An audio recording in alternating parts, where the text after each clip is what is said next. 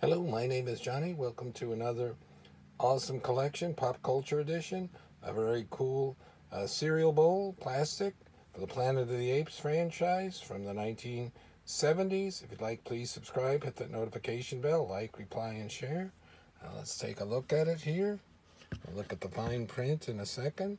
Uh, we've got Urko, General Urko, Gorilla, Dr. Zaius, the orangutan, Galen, chimpanzee, looks very much like Caesar or uh, uh, Roddy McDowall's character, Cornelius.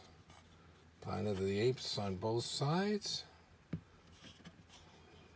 Have a lot of the pictures on there, so no matter which way you're looking, you can see it. On the bottom here, it's imprinted by the company that made it.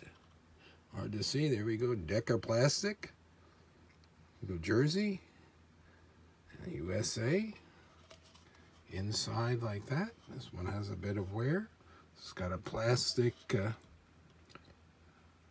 seal decal or whatever sticker, whatever you want to call it, that goes all the way around. And that's helping hold it together. So I believe this one has some cracks. And lastly, we'll look at the details that they have here and I'll explain what you're seeing. It says 1967 Apjac Productions, which is true, Inc. and 20th Century Fox Film Corporation. That's the date when uh, they first started to make the first Planet of the Apes movie with Charlton Heston that came out in 1968. Uh, that is not the date that this is from. This goes with, especially with the Galen, that's the clue. This is from the early to mid 1970s. So this came out right as the the movies were ending, and then they had uh, a live action TV show that was short lived, and then they also had a Saturday morning cartoon. So this is what this is more geared to. But it's from the 1970s, and this is the 2020s. In a few years, this will be 50 years old, and the original movies are going to be coming up on 60. Everything from the 1960s having its 60th anniversary uh, in this decade. Very cool. Love the gorilla, orangutan, and chimpanzee.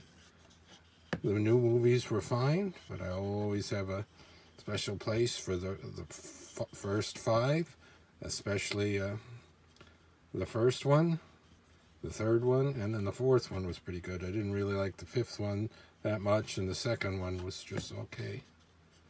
And then don't forget, like, what was that, 2001 or 2002 with uh, Marky Mark? That, that movie wasn't that bad either.